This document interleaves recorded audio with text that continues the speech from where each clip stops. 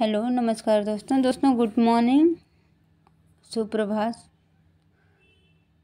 आज नाग पंचमी का दूसरा दिन है, यानी तीन अगस्त है, और बरसात का सीज़न चल रहा है दोस्तों। तो मैंने सोचा कि क्यों ना आप भी बहुत सारे पौधों की कटिंग लगाएँ बरसात में, जो कटिंग बहुत ही आराम से, आसानी से चल सकती है। तो चलिए दोस्तों, बताते हैं। लगभग बीस कटिंग मैंने लगा रखी है। और ये कटिंग मैंने पंद्रह जुलाई के और तीस जुलाई के बीच में लगाई है। नंबर एक पे आप देख पा रहे हैं, एक जोरा है। ये एक जोरा की छोटी वाली वैरायटी है। और ये कटिंग मैंने लगभग पंद्रह जुलाई के आसपास लगाई थी। आप देख पा रहे होंगे, ये ग्रो कर रही है। इसमें छोटे छोटे नन्हे नन्हे सी कलियाँ आ रही हैं। तो इस तरह से ये कटिंग मेरी ग्रो कर गई है। और अभी आज आप देख पा रहे होंगे, पंद्रह अट्ठारह दिन में ये ग्रो कर गई है। इस तरह से मैंने ये गुलदाउदी की कटिंग लगाई है। ये कटिंग तो मैंने अभी दो दिन पहले लगाई है, यानी एक अगस्त को लगाई है। ये भी ग्रो कर जाएगी, क्योंकि सीज़न ऐसा चल रहा है, धूप ज़्यादा हो नहीं रही है और मौसम बरसात का है तो मोस्टली सारी कटिंग चल जाती है। ये मैंने डबल चांदनी की कटिंग लगाई थी दस, लगभग दस दिन पहले। और इसमें आप देख पा रहे होंगे छोटी कलियों के मतलब कलियों के बर्ड्स बन रहे हैं। अभी आई नहीं है, लेकिन आ जाएँगी।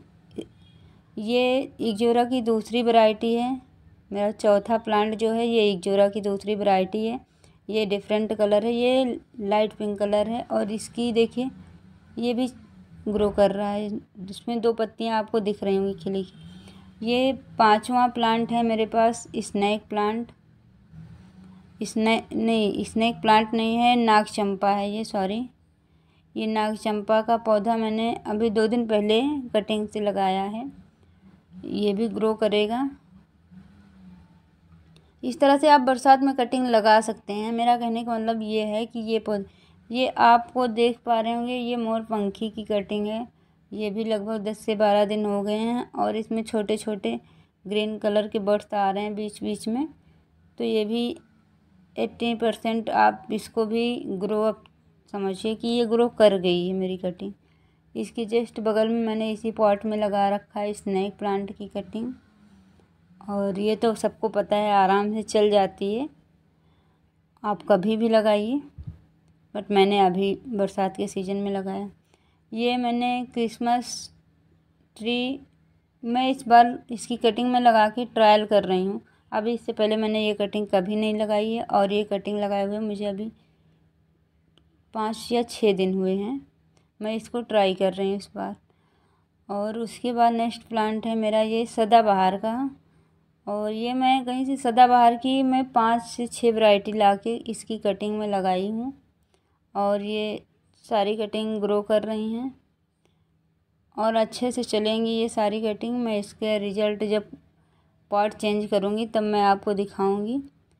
और इसके बाद मेरी नेक्स्ट कटिंग है ये डिफिन वेकिया की कटिंग मेरे पास एक डिफिन वेकिया का पुराना पौधा था, जिसकी वीडियो मैंने डाल रखी है इसकी कटिंग कैसे लगानी है। डिस्क्रिप्शन में मैं लिंक दे दूँगी। और ये मेरी डिफिन वेकिया की सारी कटिंग चल गई है। और उसके बाद ये ये तो गिफ्टेड प्लांट है, ये मैंने नहीं लगाया है। उसके बाद अगला पौधा जो आता है वो मेरा आता है सफ़ेद चंपा का। सफ़ेद चंपा का भी पौधा मैंने कटिंग से लगाया था। ये सफ़ेद चंपा की कटिंग मैंने लगाई थी लगभग एक महीने पहले। ये मैंने लगाया था जून में और ये कटिंग ग्रो कर रही है। आप देख पा रहे होंगे, इसमें नई दो पत्तियाँ आ गई इसके बाद ये पौधा ये अगला पौधा मेरा कैरोटन का प्लांट है और ये इसकी बहुत सारी वैरायटियाँ आती हैं। आप मोस्टली देखते होंगे नर्सरी में इसके कलरफुल लीव्स होती हैं और ये बहुत ही सो प्लांट के रूप में होता है, सुंदर लगता है। तो ये भी मैंने कटिंग लगाई है इसकी तीन।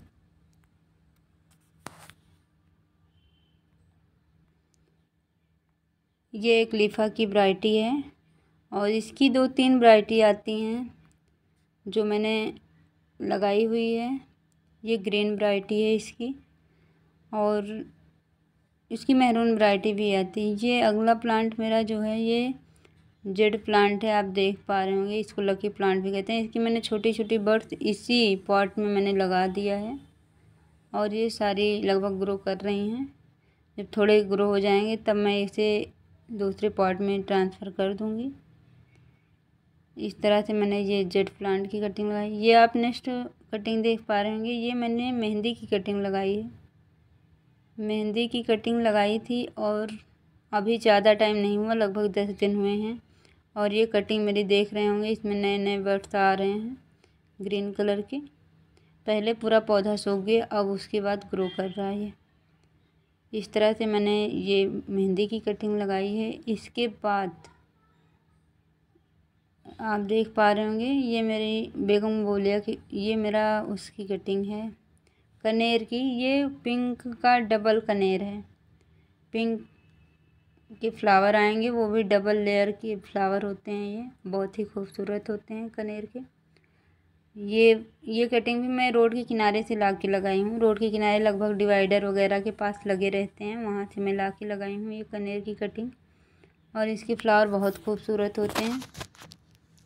इस तरह से मैं ये सारी कटिंग लगाई हूँ।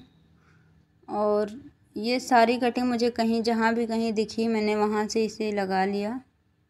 इस तरह से ये बेगम बोलिया की कटिंग है। ये भी मैंने कहीं से कटिंग ला के मैं लगाई थी, ये कटिंग मेरी चल रही है। इस तरह से ये सारी कटिंग मैंने लगा लिए हैं। लगभग बीस कटिंग हो गई है। और आप देख पा रहे होंगे दोस्तों, मैंने जहाँ भी मुझे जो कटिंग दिखी, बरसात का मौसम भी चल रहा है, और जहाँ मुझे जो कटिंग दिखी, मैंने ला के लगा दी। इसीलिए मैं आपको भी बोल रही हूँ कि आप भी कटिंग से पौधे तैयार करिए। खुद को भी अच्छा लगेगा, और पैसे की भी बचत होगी। इसमें से कोई प्लांट ऐसा नहीं है जो फिफ्टी रुपीज़ से कम का आ रहा हो। इसलिए आप कटिंग कर सकते हैं अपने आप घर पे, और अच्छे पौधे तैयार कर सकते हैं। इसलिए मेरा यही मानना है कि आप एक बार ट्राई ज़रूर करिएगा। और दोस्तों, मैं कहना चाहूँगी कि अगर मेरा वीडियो पसंद आया हो, यूजफुल लगा हो तो मेरे चैनल को प्लीज़ सब्सक्राइब कर लीजिएगा, वीडियो को लाइक और शेयर कर दीजिएगा। और बाकी ऐसे मैं और सारे वीडियो आप तक पहुंचाती रहूँगी। दोस्तों, मैंने दो चार कटिंग और लगाई हुई है। चलिए मैं आपको वो कटिंग भी दिखा रही हूँ। मैं, आप देख पा रहे होंगे मैंने सारा कुछ जुगाड़ से ही कर रखा है। ज़्यादा पैसे नहीं खर्च कर रही हूँ फालतू के।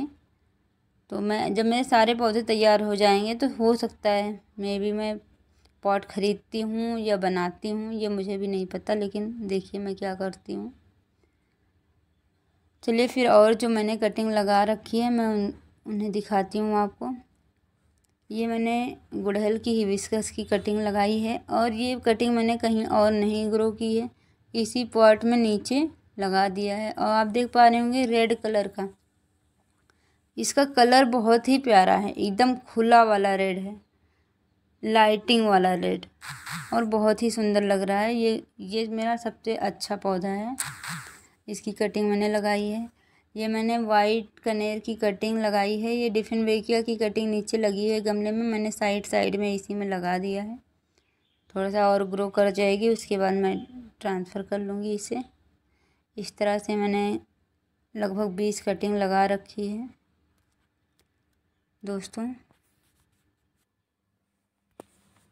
दोस्तों, इस तरह से मेरा जो अगला पौधा है, ये पैलिडा है पर्पल कलर का।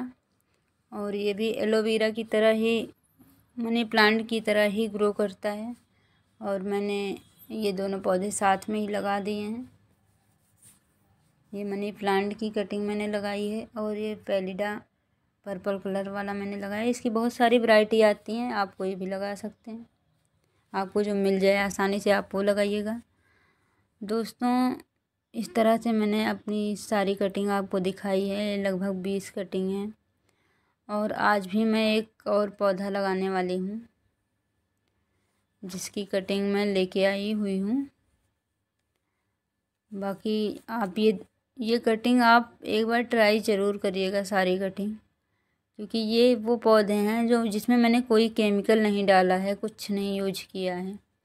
फिर भी ये ग्रो कर रहे हैं तो ये बहुत आसानी से उगने वाले सारे पौधे हैं। और आप भी एक बार ट्राई ज़रूर करिएगा, आपके भी पौधे चलेंगे अच्छे से। दोस्तों, इस तरह से अगर मेरा वीडियो यूज़फुल लग रहा हो तो सब्सक्राइब ज़रूर करिएगा। मैं फिर से एक बार बोल रही हूँ, बाकी आपकी मर्ज़ी, अगर नहीं अच्छा लगा हो तो मत करिएगा।